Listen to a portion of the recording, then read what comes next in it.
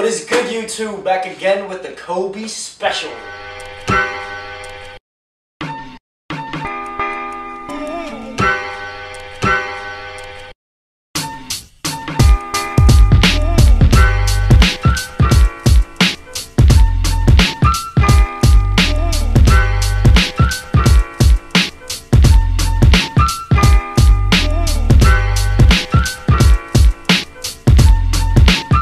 What is good YouTube? Welcome back to another sneaker review. These are the Kobe 9 Elite Low, aka Michael Jacksons, aka Moonwalkers, aka Hyper Grapes. But before anything else, I want to give another huge shout out to MJ for this lob pass assist. He hooked it up again, MJ from Flip with Kicks. Another huge shout out to you. He's been hooking everybody up.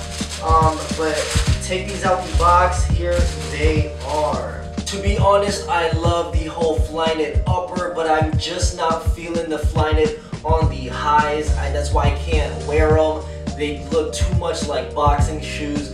And when they put the Flyknit on the lows, I just had to go for them. Without further ado, let's break this sneaker down. First things first, the sneaker features a predominantly purple Flyknit upper all throughout the sneaker. You have hints of that black on your midsole. That midsole is that rubbery kind of plastic material with your hints of that carbon fiber shanks around the heel for that heel support. What I really like about this sneaker is that tiny, tiny hint of metallic on the Nike swoosh. I feel like it gives it more of that UFO, NASA kind of feel to them. So that's really dope. Your tongue stays true to that purple color, but the top of the tongue is in more of that matte grape, very reminiscent to the invisibility cloaks and you have your Kobe logo as well as your Kobe signature on the top of the tongue. Or back of the heel will have those nine stripes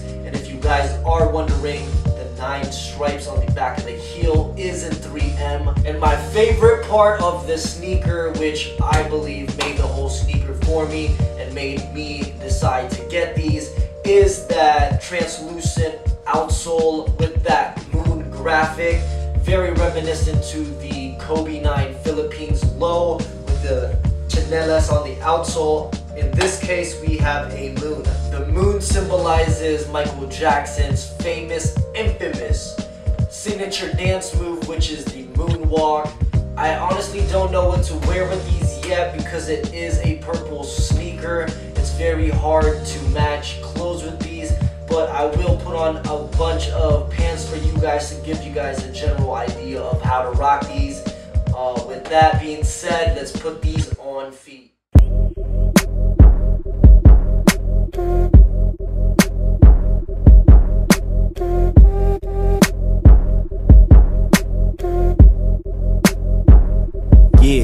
Okay, I heard these hoes looking. Rocky, who they looking for? What that nigga doing? Out here trying to get his dough. What I say, they see it, so they call this shit my picture flow. Never been abusive, but they call me Mr. Hit that hoe. I'm smashing when she twerking. Got lil' mama working, and she say she not a hoe. She just felt I was deserving. She saw me up on Twitter, couldn't wait to meet in person. Now she tell me I'm the bomb. I need ammo in the turban. I'm about to blow up up. I tell my haters peace. My shoe collection gotta be a hundred racks at least. It's big business on my table to my lawyer's fees. If you ain't talking big business, then don't even speak. And high key, I give a fuck about it.